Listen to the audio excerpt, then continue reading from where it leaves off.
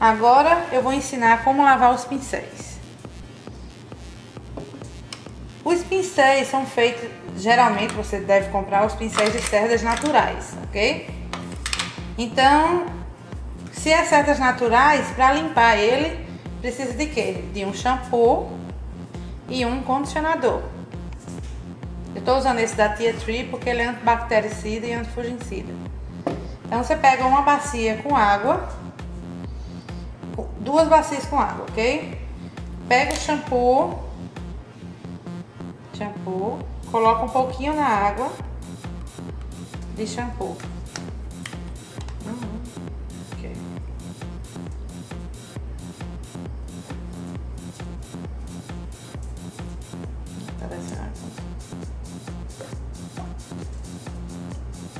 Ok?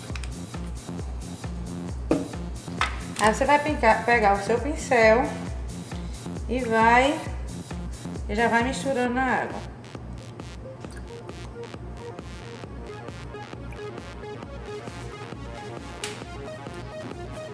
Você vai limpando o pincel, passando como se estivesse pintando alguma coisa. Isso faz com que você o pincel ele vá limpando toda sujeira que tem, ok? Esse não tá tão sujo, mas você sente a, a espuma, tá vendo? Pronto. Ok? Você vê que a espuma tá branquinha, tá limpinha. Esse grande dá pra você fazer esse teste pra ver se já tá limpo. Ok. Tiro o excesso de água e esse aqui tá só com água. Você vai tirar o shampoo como enxaguando. Mesma coisa com lavagem de cabelo. Ok? Você também pode fazer na pia. Passa uma, uma baciazinha com shampoo e vai enxaguando na pia com um pouquinho de água. Limpou, aí você vai faz o procedimento em todos os seus pincéis. Ela fazendo um pincel grande, sempre com cuidado. Ó, tá vendo a sujeira já tá saindo na, na, na água. Quando a água começa a ficar muito suja, a gente troca a água e coloca o shampoo novamente. E você mantém seus pincéis limpos e as cerdas bem conservadas. Okay. Agora, ó, tá vendo que a água aqui com shampoo tá bem turva. Esse aqui é água de enxágue e esse aqui você pega o condicionador, esse condicionador bem concentrado e bota também um pouquinho de condicionador na água. Da última vez que eu lavei meus pincéis, eu lavei com um shampoo e condicionador hidratante da Alanza. Agora eu tô lavando com esse Tree da Palmitium, que esse é antibactericida e antifugicida. Então, os pincéis estando limpos, estando limpos, eles evitam que, que micoses na sua pele, fungo, então você tem que ter a higiene dos pincéis muito, muito bem feita. Aí enxágua.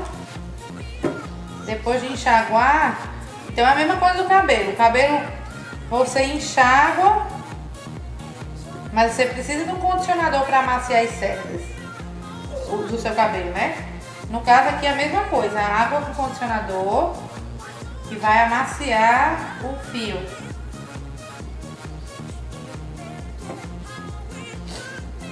Aí, depois disso aqui, ó, aí você já sente o fio já mais suavezinho.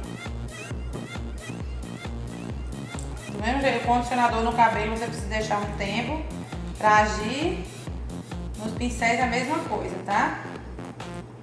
Então eu vou limpando todos os pincéis. Esse aqui tem condicionador ainda nesse pincel. Eu vou deixar ele aqui em repouso. Esse aqui que eu não tinha colocado, vou colocar água no condicionador.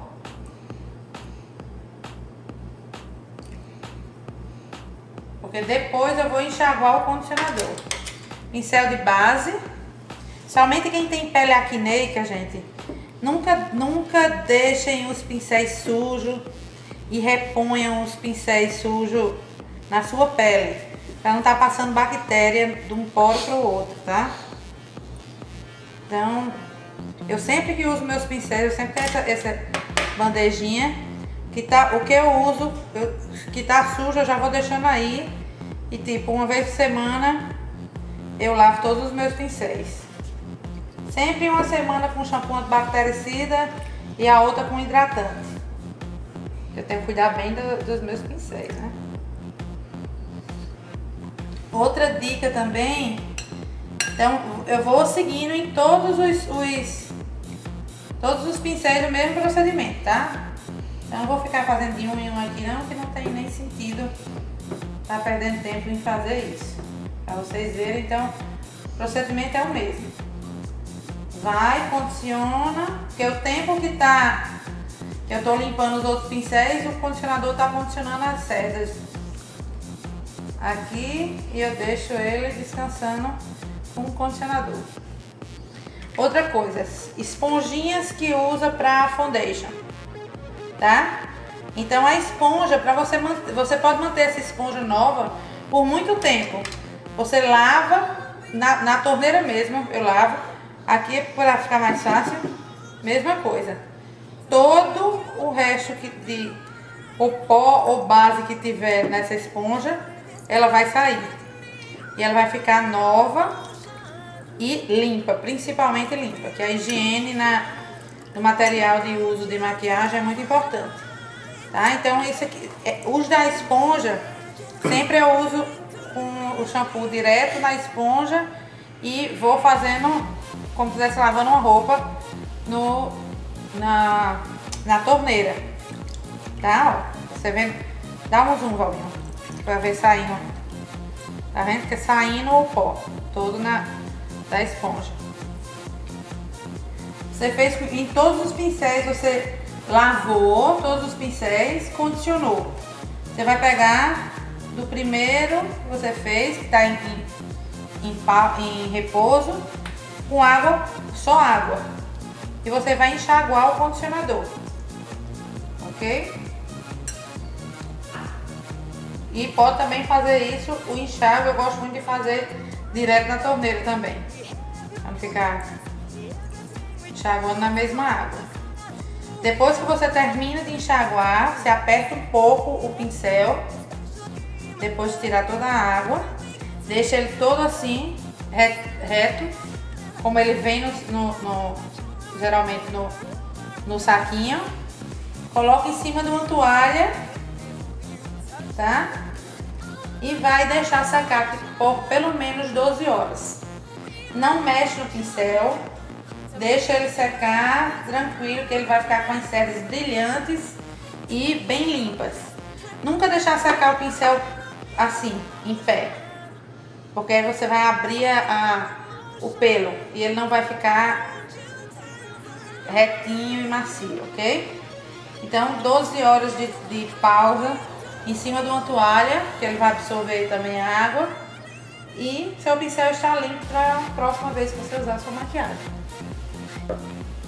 Gente, outra coisa que vocês têm que observarem, que o quando você estiver molhando o pincel dentro da, da, da, da água para tirar toda a sujeira, você não deve deixar que a água bata no cabo do pincel, tá? É só nessa parte de metal com, a, com as cerdas.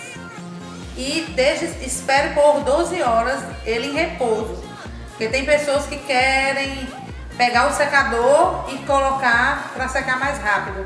Isso danifica as cerdas do, do pincel. Então você tem que deixar realmente em repouso e deixar que seque naturalmente, para que seus pincéis tenham mais durabilidade.